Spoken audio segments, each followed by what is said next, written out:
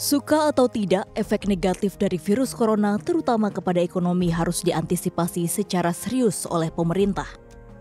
Perlambatan ekonomi global dipastikan akan sulit dihindari dikala banyaknya pusat perekonomian yang terpaksa lumpuh akibat virus corona. Lantas apa obatnya? Tidak lain, denyut nadi ekonomi butuh suntikan adrenalin yang lebih melalui sektor perbankan. Ya, obral kebijakan moneter terus diberikan termasuk pemangkasan suku bunga acuan.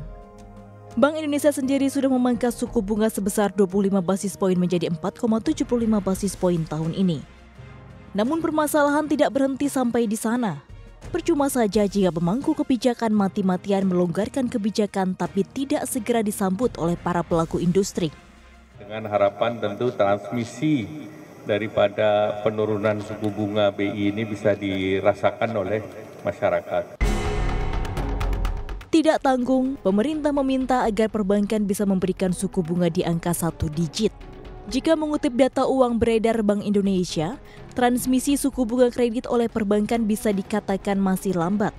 Di Januari 2019, rata tertimbang suku bunga kredit ada di level 10,88 persen, sedangkan di Januari 2020 sebesar 10,47 persen hanya turun 41 basis poin, padahal periode tersebut BI sudah turunkan bunga acuan hingga 100 basis poin.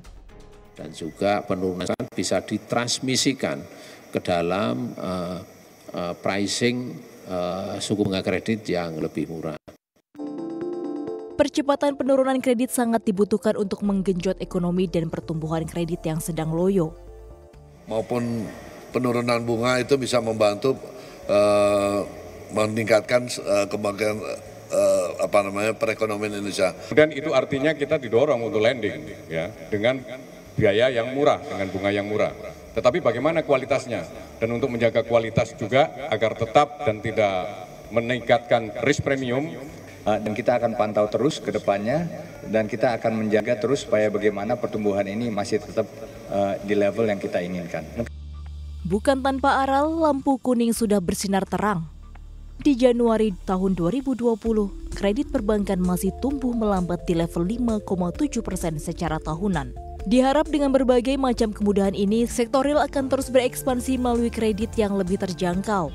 Namun jangan sampai segala kemudahan ini justru disalahartikan oleh pelaku usaha. Fokus utama harus tetap pada obat kuat melawan efek pelemahan dari virus corona.